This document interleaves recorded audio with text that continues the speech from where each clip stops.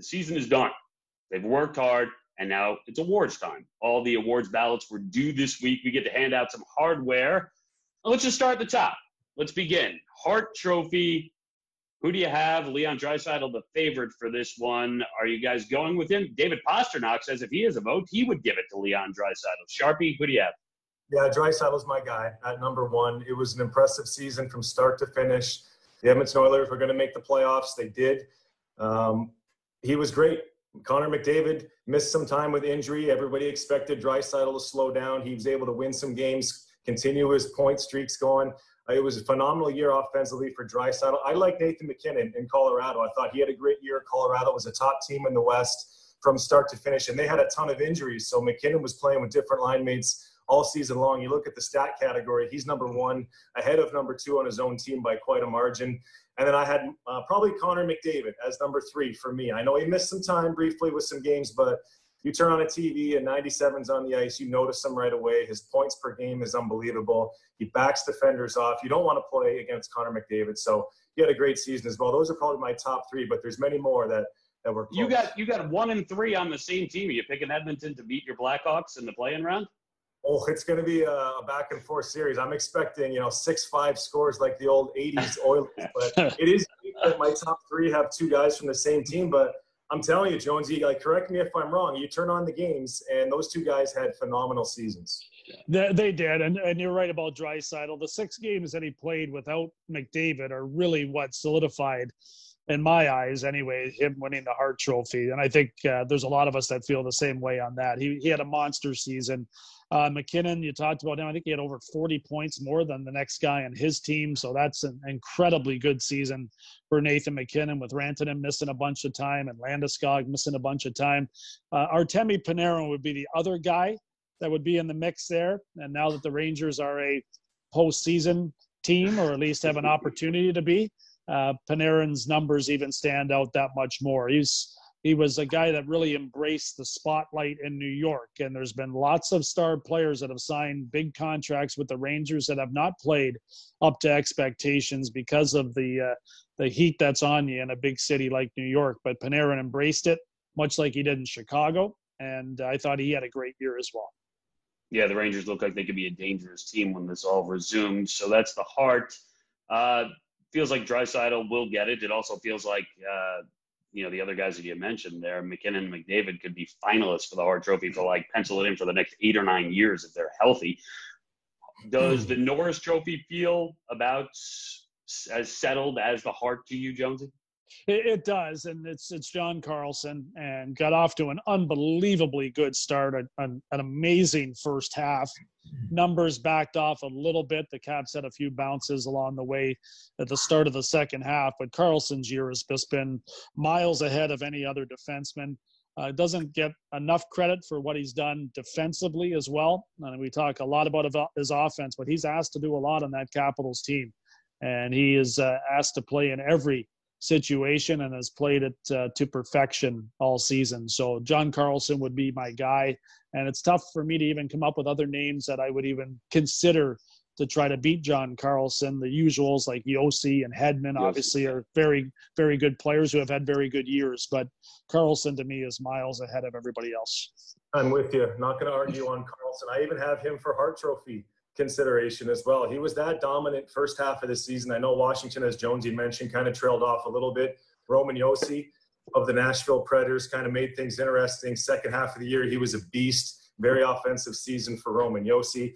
I like Pietrangelo in St. Louis. I noticed something was different about him this year. He was the best player on the ice when they won the cup in game seven last year. He carried that over this year. He at times he looked dominant out there. I know the numbers points wise don't match up to the other two, but he was shooting the puck hard this year, scored a lot of big goals, and he was just confident player out there. I like Hedman had a good season, and then you start thinking about some guys that we haven't really talked about a lot. Tony DeAngelo had a great season in New York. Not quite Norris Trophy numbers, but how about those young rookies too? Makar and Hughes, they're right there. Yep. Lots of young defensemen, but I'm I agree with Jonesy. John Carlson wins the Norris for me.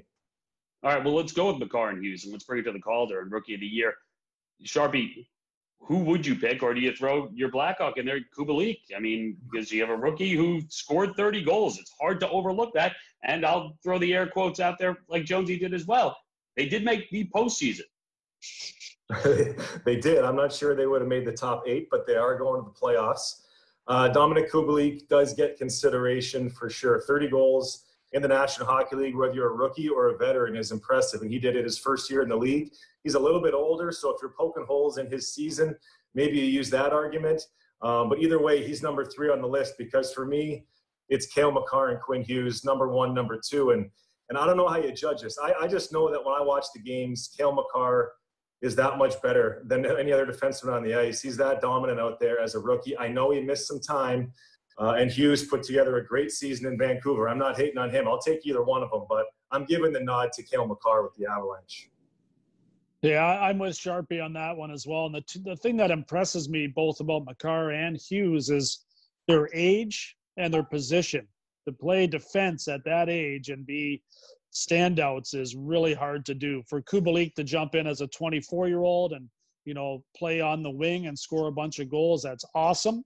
But to play defense and be relied upon to keep the puck out of your own net and then create offensively as well, you're asking a lot of young kids, and they've handled it uh, marvelously. There, there's no doubt in my mind that Makar is the guy, though. When I watch him, know, there's times when I think it's MacKinnon carrying the puck up the ice, and that's incredible to me because mm-hmm. Such a unique player. But Makar's ability to skate is like nothing I've ever seen before from the back end. I, I think he's going to be one of the best defensemen to play this game. I, I, that's how good I think he's going to be, Liam. And I think he had proved it this year. I know the injury kind of got in the way a little bit of what was happening for him, but um, I can't wait to see him back on the ice. He's one of those players that's uh, clearly worth the price of admission.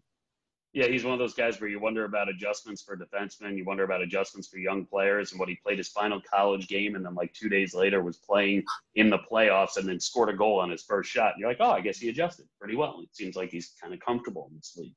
So let's go from defensemen. We go to the goalies. This one seems wide open. Wide open. Who do you have for the Vezina Jonesy? You can start us off. Uh, I'm going to go with Tuukka Rask. I, I think he had an incredibly good season for the Bruins. I think there was the disappointment of losing last year in the Stanley Cup final and the his ability to bounce right back and have another strong year has been really impressive to me. I, I think the the Bruins have had a great year, and I I don't think their year is as good without the play of Tuukka Rask. So uh, he would be the one guy that stands out to me above all others. And then I'm telling you, Liam, there's a mix of guys that, that I've jumped around on for you know uh, days trying to just come up with other guys that I would pick. But that's the really the reason that I settled on Rask because it's tough to make an argument of someone being better than Rask has been this year. I'll make that argument as best I can. Uh, I don't know. Maybe two of those other names you were thinking of, Hellebuyck in Winnipeg had a pretty good season. The Jets were making a strong case to make the playoffs there down the stretch. I like Vasilevskiy personally in Tampa Bay. Uh, I, he would be my goaltender to start a big game right now. He's got all the qualities you need at the goaltender position. He's big, which I really like when I look back and see my goaltender. Uh, and he had a ton of wins. Tampa Bay was primed, I think. They were rolling at the right time. They seemed to elevate their game. They were looking forward to getting back in the playoffs after we all remember what happened last year in Columbus. I'll be interested to see how they get things going once we start up again. But at the goaltender position for the Vezina, I'll give it to uh, Vasilevskiy just to disagree with Jonesy. Well, hey, that's fine. First off, that's a good enough reason on its own. Uh, but I think it's interesting that you note that he would be your goalie in a big spot right now because that's kind of been the question for Vasilevskiy. And now he'll have that opportunity once again with the Tampa Bay team that's going to be healthy, it's going to be ultra talented, and certainly flying under the radar in a way that they did not at all last year. Finish up, coach of the year, Jack Adams. Sharpie, you can begin. Who do you have? I look at the two teams that struggle with injuries this year, Columbus and Pittsburgh. So I'm leaning towards Mike Sullivan and John Tortorella. Columbus, especially, was smoked by injuries all season long. And, and we watched the Blue Jackets play. Take the numbers off the back. Every player looks the same. They're hardworking forwards. They finish on the forecheck. They've got a little bit of skill throughout the lineup, and they had great goaltending. Those would be my two guys right away.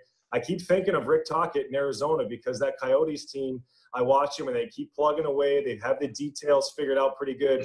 Just lacking a few goals up front, and they'd be a different squad. So those are my top three. But again, there's a lot of good options out there. Yeah, I, I like all those picks. I like Berube and St. Louis as well. I thought he did another really good job with that team without Tarasenko for much of the year. I thought Dave Tippett did a great job with the Edmonton Oilers in his first season behind the bench there. I thought Alain Vigneault did a fabulous job with the Flyers as well. They're one of the hottest teams prior to uh, the uh, the COVID nineteen break here that we've been on. So, uh, but I do like John Tortorella. I think what he did with yeah. Columbus, the departure of so many star players, including Panarin, who's had a great year playing for David Quinn, who's also done a great job with the New York Rangers.